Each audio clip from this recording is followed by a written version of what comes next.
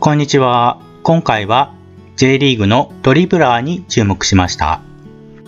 ドリブラーはいつの時代もサポーターから大いに愛されますが、サッカーファンから現代の J リーグを代表するドリブラーだと評価されている J リーガーは誰でしょうかサッカーファンの投票数をもとにしたドリブラーのベスト10です。まずは10位です。10位は14票獲得した川崎フロンターレの斉藤学です。1990年4月生まれで30歳になりました。かつては横浜 F マリノスで主力として活躍しました。愛媛市やカモメ市の異名を持っています。キレとスピードを兼備したドリブルで J リーガーを大いに苦しめましたが、2018年にフロンターレに移籍してからは怪我に悩まされています。完全復活が期待される選手です。次は9位です。9位は15票を獲得したコンサドーレ札幌のルーカス・フェルナンデスです。1994年4月生まれで26歳のドリブラーです。札幌では右ウィングバックで起用されています。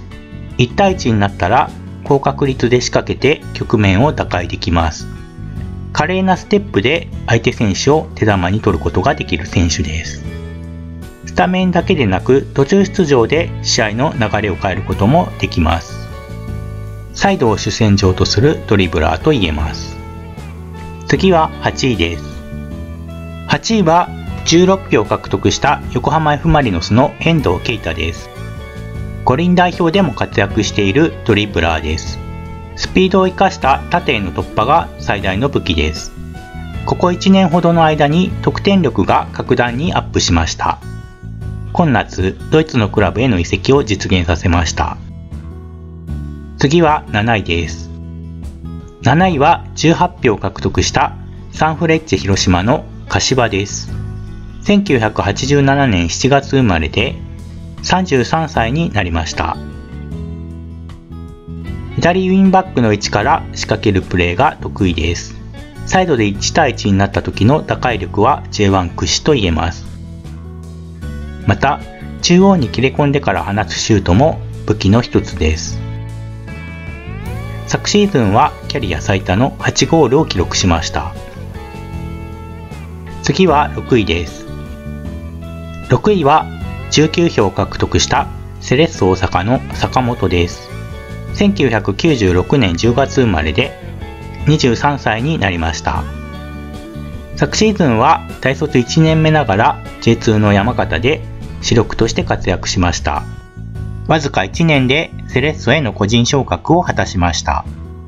切れ味鋭いドリブルは J1 でもトップクラスです。分かっていても止められない切り返しが最大の魅力です。左足の強烈なシュートも武器の一つです。次は5位です。5位は21票獲得した名古屋グランパスの前田直樹です。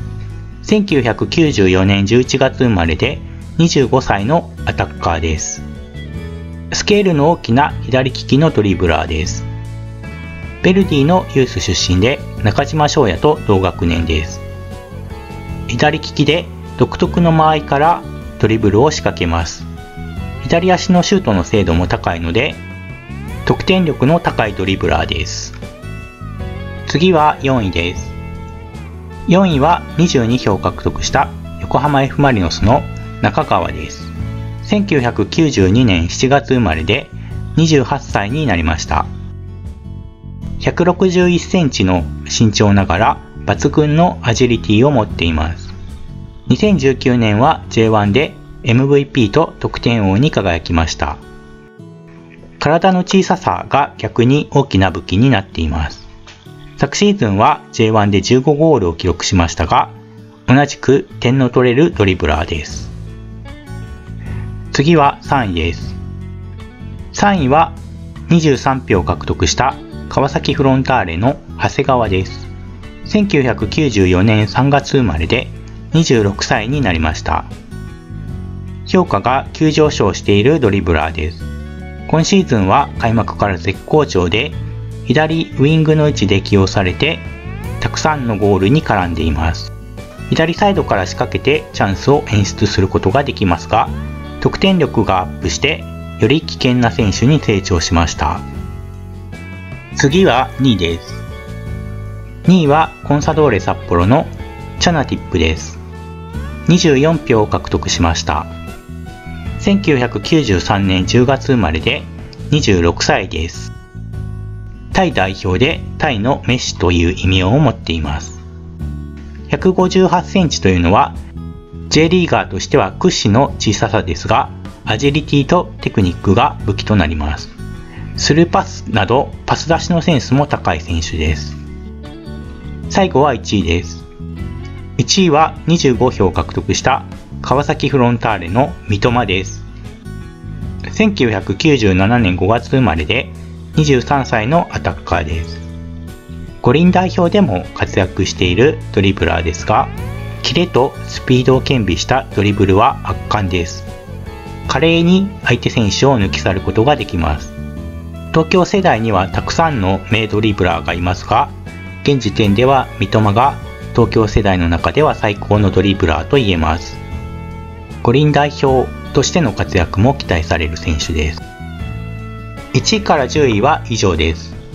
まとめるとこのようになります。